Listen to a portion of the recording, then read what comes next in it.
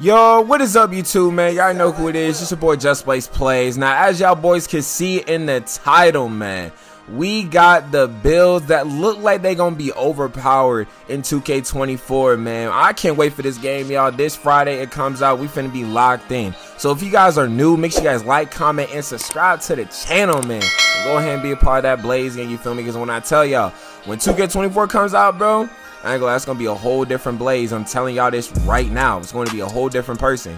And I already know what type of build that I'm making. Y'all let me know in the comments down below, all my OGs, if I should make my 6-6 playmaker again because the 6-6 builds are back. You feel me? So look, we're gonna get into that later. But first things first, let's go with this build right here. As you see, this is a 6-4 shooting guard. 205 pounds. This build low-key has some really nice badges. A 95 perimeter defense man. The playmaking is very low. The three-pointer is low.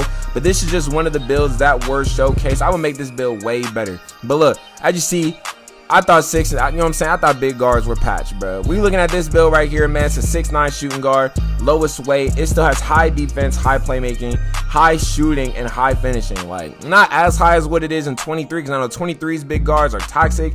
But hey, man, I don't know how they're going to implement this in 2K24. Hopefully, they don't get certain animations. But look, this is the 6-6 right here. I was telling y'all 6-6 builds are back.